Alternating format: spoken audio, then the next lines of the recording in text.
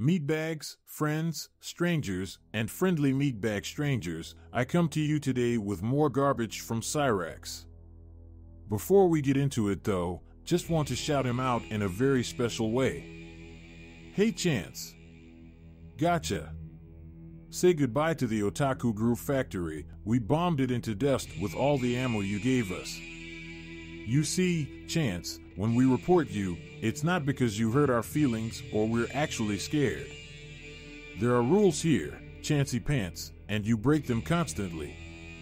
Every time you do, you give us an opportunity to take you down. While I'm sure you're searching for your next way back on here, I want to invite everyone watching to indulge in a big sigh of relief. Seeing you go down in flames is, well, it's just the bee's knees rack so. Anyway, here we have a reaction from him just before his channel was destroyed.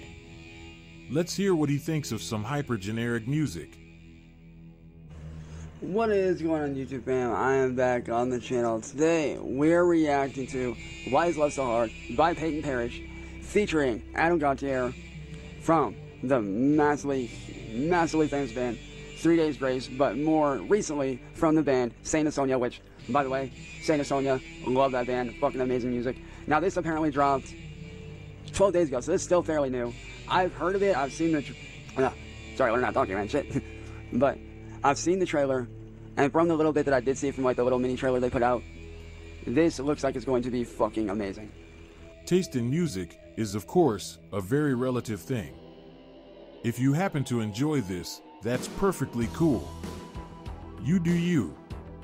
Chance's taste in music reminds me of generic food at Walmart. Nothing special really, just the same vaguely hard rock sound. Hearing him heap praise on this is a bit like listening to someone rave about Burger King. So if you guys do enjoy this, be sure to hit that like button, that subscribe button, and the notification bell found down below. Up to with everything on the channel. I'm excited to get into this, man. And if you guys are too, you already know what to do. And, uh, yeah. With that being said, let's get into this, man. I'm excited. I don't know what to expect.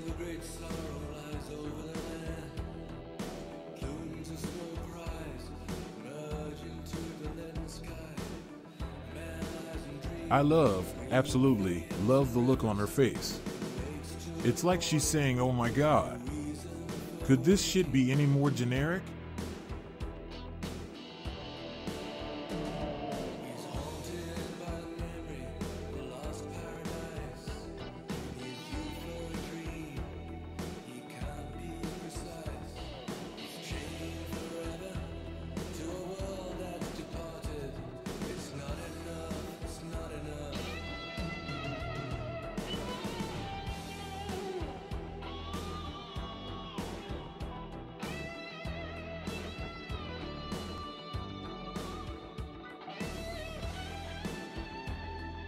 Dude, just to pause right there for a second. I love what he's talking about in the very beginning because if you've ever been in a relationship with somebody and you end up splitting up, sometimes you often ask yourself, hey, will I be okay when you're gone?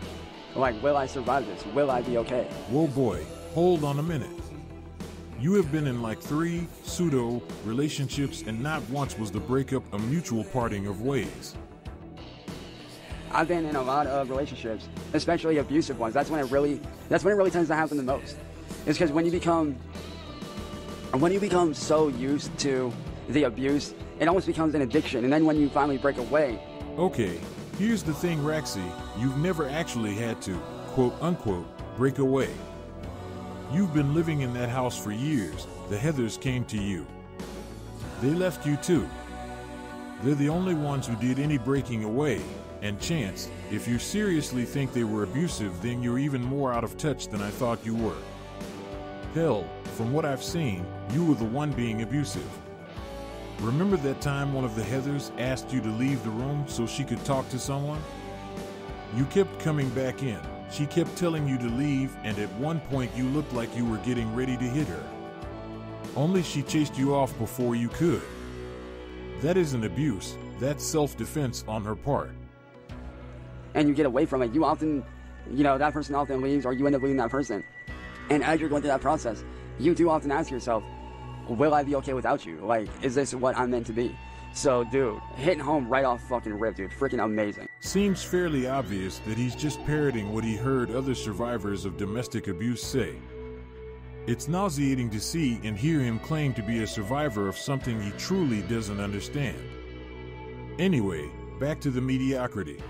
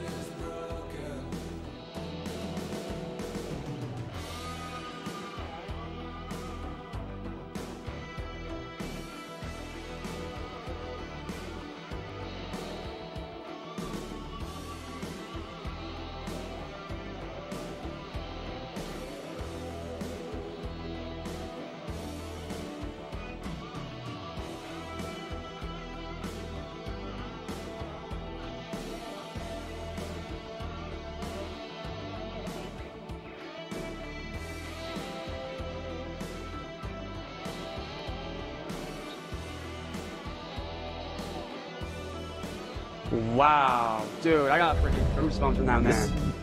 Dude, that was so good, man. Oh my god, that was so amazing. Oh my gosh. That was so well done, dude. Oh my gosh. Dude, this song is going straight away into my Saint Asonia and Peyton Parrish playlist, man. Like, that song hit home on so many levels.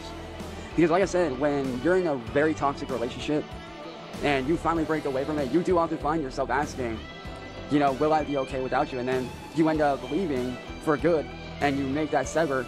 And there's always that little voice in the back of your head that just keeps on saying, you know, just keep hanging on a little bit longer. It'll be okay. But at the same time, you are constantly at war with yourself, always asking, like, am I going to be okay? Is this the right move? Like, will I be okay without you? Like, is this the road that I'm meant to go down? But dude, overall, such an amazing, amazing song, dude.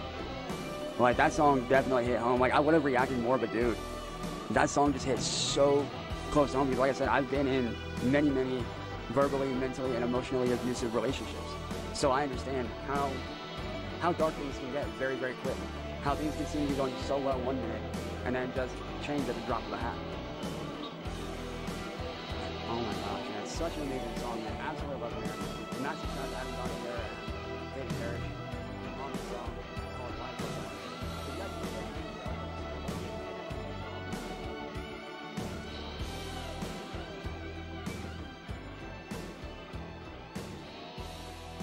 Well, we all knew Chance was a major league poser, but moving on to fake DV, ugh, that's a new low. Even for him. Thanks for watching this. Have an amazing 24 hours.